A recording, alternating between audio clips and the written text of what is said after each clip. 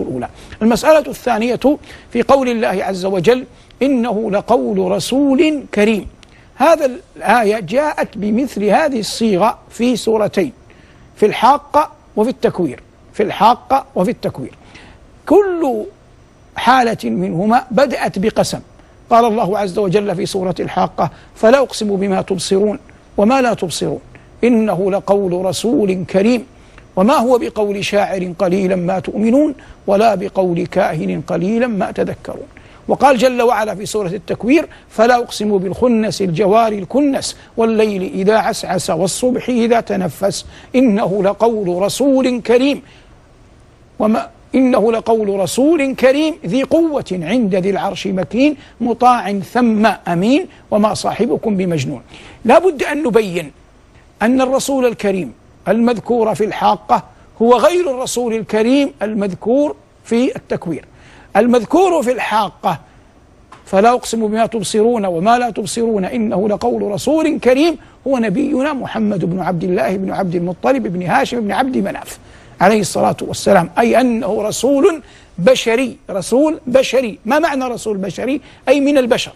إنه لقول رسول كريم. يدل على ذلك قول الله عز وجل بعدها وما هو بقول شاعر قليلا ما تؤمنون لأنهم كانوا يقولون إن النبي شاعر ولا بقول كاهن لأنهم كانوا يقولون إن النبي عليه الصلاة والسلام كاهن وقد كذبوا فيما زعموا. فهذا الرسول هنا رسول بشري لكن نأتي لسورة التكوير يقول الله عز وجل فلا أقسم بالخنس الجوار الكنس والليل إذا عسعس والصبح إذا تنفس إنه أي القرآن اجماعا إنه لقول رسول كريم. هنا ليس محمد ليس المقصود ليس المقصود محمد بن عبد الله. إنما المقصود جبريل عليه السلام. فالرسول في سورة التكوير رسول ملكي. ما معنى رسول ملكي؟ أي من جنس الملائكة. أي من الملائكة. وليس من أحد الملائكة بل هو من أشراف الملائكة وسادتهم. ويدل على ذلك ما جاء من وصف بعده. قال الله عز وجل إنه لقول رسول كريم. فذكره الله عز وجل بعدة صفات. كريم ذي قوة مكين مطاع أمين. فهذه خمس صفات ذكرها الله عز وجل في وصف هذا الملك الصالح جبريل عليه الصلاة والسلام الملك المقرب الذي هو من أعظم أشراف الملائكة.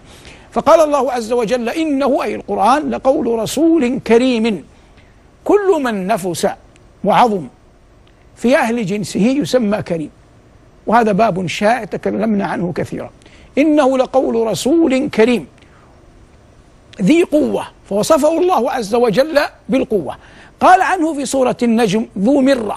ومعنى ذو مرة وذو قوة بمعنى واحد أي أنه شديد قوي لا يغلب من أهل جنسه ولا يمكن للشياطين أن تتسلط عليه فقوته تحول بينه وبين أحد من خلق الله أن يأتيه أو أن يؤذيه.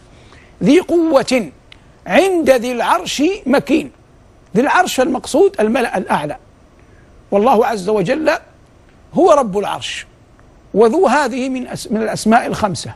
ترفع بالواو وتنصب بالألف وتجر بالياء. وهنا جاءت مجرورة فاستخدم الياء. قال الله عز وجل إنه لقول رسول كريم. ذي قوة عند ذي العرش مكين. ذي قوة بينا أنه ذو قدرة وغلبة. ذي قوة عند ذي العرش. هنا جاءت مرفوعة بالواو ثم جاءت مجرورة بالياء. عند ذي العرش قلنا في الملك في الملأ الأعلى. مكين أي له مقامه ورسوخ قدمه في الملأ الأعلى عليه الصلاة والسلام عليه السلام. ذي قوة عند ذي العرش مكين مطاع. مطاع أين؟ مطاع في السماء. من من آحاد الملائكة. فالملائكة تستمع له وقد ضرب العلماء لهذا مثلا. فإنه عليه السلام لما كان مع النبي عليه الصلاة والسلام في رحلة الإسراء والمعراج واستفتح فتح له. ويقال إنه هو الذي دعا رضوان أن يفتح باب الجنة للنبي عليه الصلاة والسلام. ودعا مالكا خازن النار أن يفتحها للنبي عليه الصلاة والسلام ليراها عن بعد. فهو عليه الصلاة والسلام كان مع جبريل في الملأ الأعلى.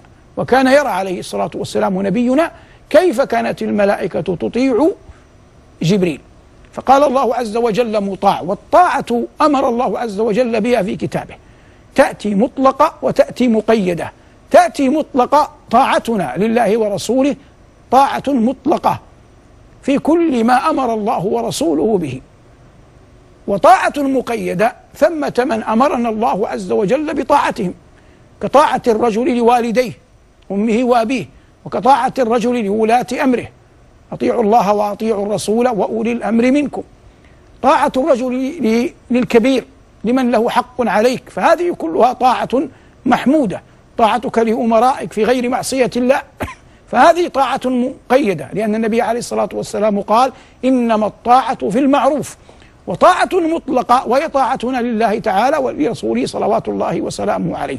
هذا جبريل نافذ أمره في الملأ الأعلى. يقول الله عز وجل مطاع ثم بفتح الثاء والمقصود هناك فهي اسم مكان للمكان البعيد. مطاع ثم أمين وصفه الله عز وجل بالأمانة. فكونه أمينا لا يغير في ذلك الوحي من قبل نفسه وكونه قويا لا يجرؤ أحد على أن يأخذ الوحي منه فيغيره وهذا من دلالة منزلة جبرائيل عليه السلام في الملأ الأعلى.